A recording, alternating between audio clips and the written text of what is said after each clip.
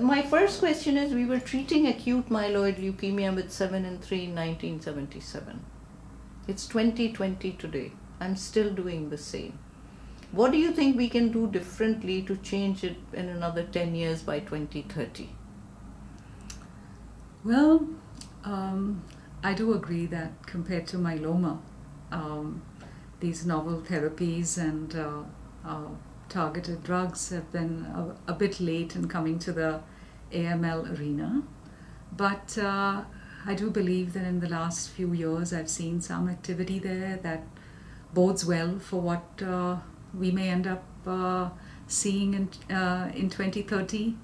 Um, you know, the, the amazing therapy of APL, uh, FLT3 inhibitors, IDH inhibitors. I think there is a beginning of understanding of the fact that AML is not just one disease and that there are subtypes there and um, you know immunotherapy is exciting. So i think that in 2030 we'll still have uh, 7 plus 3 3 plus 7 uh, but there'll be many other things. Uh, i did look at the SEER data and there is in the last 20 years there has been an improvement maybe better supportive care um, so I'm a little, I'm I'm not so pessimistic. I think uh, that things will get better for patients, uh, even if we do nothing special and continue the way we are. I think we'll we're on a positive uh, direction here. Good. Well, uh, the second question is there are about 4 million papers on cancer, 150,000 in 2018 alone there's a staggering disconnect between great scientific insights and translation to improved therapy. What are we doing wrong? Azra, you know that there's no connection between numbers of papers and publications and scientific insight. I mean, come on. Uh, if you look at the sheer numbers of papers and journals that we have, and the pressure to publish um, on the part of the physician, sometimes merely to hold on to the job in academic medicine, sometimes for promotions, power, prestige. So people are just publishing, and uh, journals. Um, uh, there's an issue, you know, every month you got to fill the spaces. And can you imagine a journal saying, uh, "Sorry, we have no great scientific insights, so there's not going to be an issue next month." So I think uh, you know, that has to go on. And uh, conferences, um, have you been to ASH and ASCO lately? Massive, 40, 50,000 people attending, and um, you simply can't take it in. I just go for the social aspects, really. And um, uh, there is such a pressure to uh, keep those meetings going. Um, um, I've been a reviewer, and uh, you got to fill all those sessions so hardly anything gets rejected. It's, uh, you know, there's just a huge amount of information. Uh, the beast has to be fed and the beat goes on. Um, so what's the solution? The solution maybe is to shut up if you have nothing uh, specific to say, but that's not going to happen. Uh, and great scientific insights. Um, I mean, a Shakespeare is not born every day. They are, they are rare, and sometimes they can't just be manufactured at will. Um, maybe we need to have um, uh, AI um, be able to sift through this material and find us the pearls of wisdom so that we can cut out the background noise and uh, just focus on uh, the important hmm. things. Mm. So we can't drown out the noise. I think people are not going to shut up. And so maybe we need to use the tools we have to help us find the good stuff. Good answer. Third question is the fact that children respond to the same treatment better than adults seems to suggest that the cancer biology is different, but also that the host is different. Well, since most cancers increase with age, even having good therapy may not matter, as the host is decrepit. Solution? So, you know, I you're asking this question of a myeloma physician. And so I all my patients are older. So age is an ever-present factor.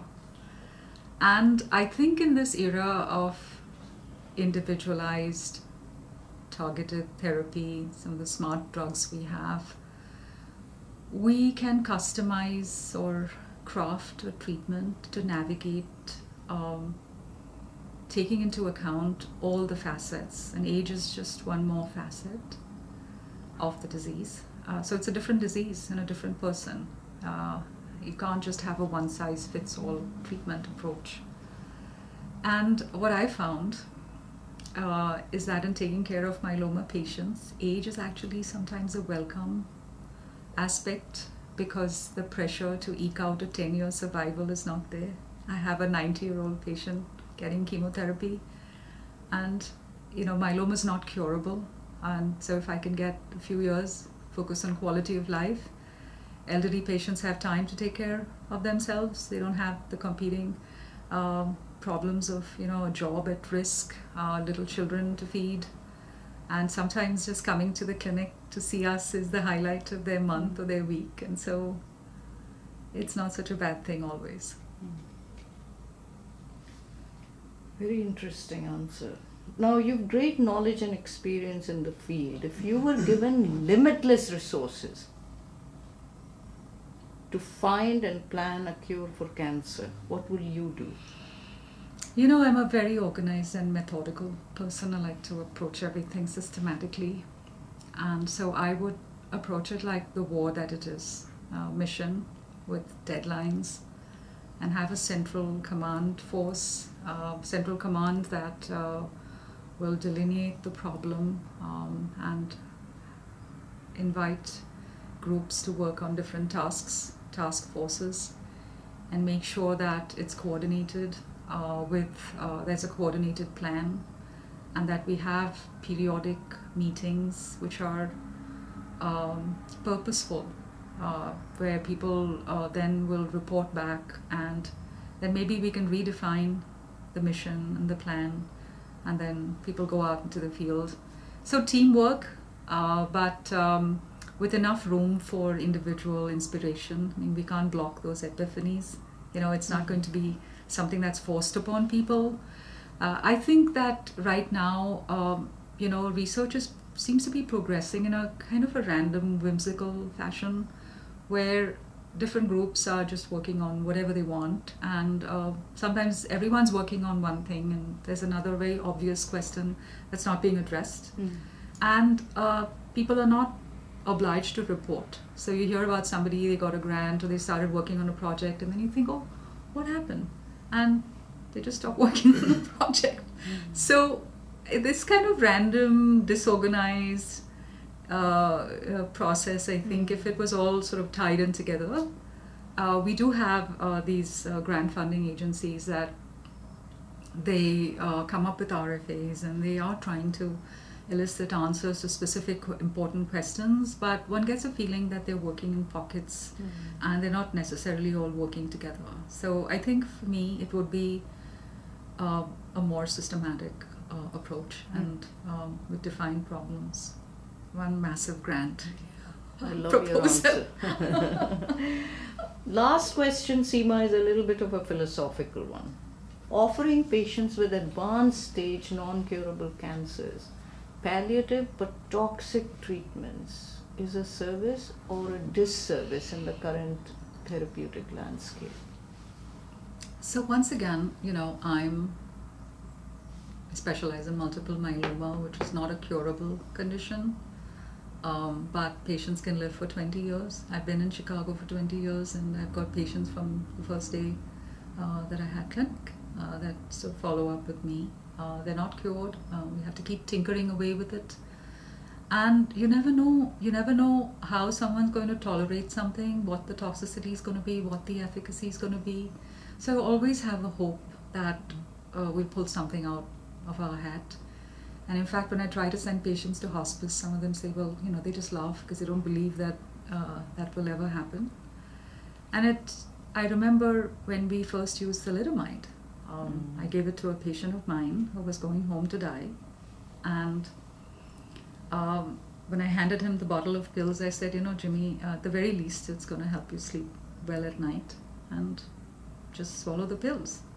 And I went off to India and came back, and I was surprised that there were still faxes coming in from him. I thought he would have passed away by now. And when I looked at the results, he was having labs every week, uh, every subsequent lab was showing a response, uh, you know, deepening response. So I think uh, I would always err on the side of uh, giving therapy, but I would uh, make it a point to help the patient understand uh, the risks and benefits and then allow them to choose because who am I to decide what what one is willing to endure in, in order to live. Well, thank you so much. It was beautiful answers, and thank you for your time. Thank you.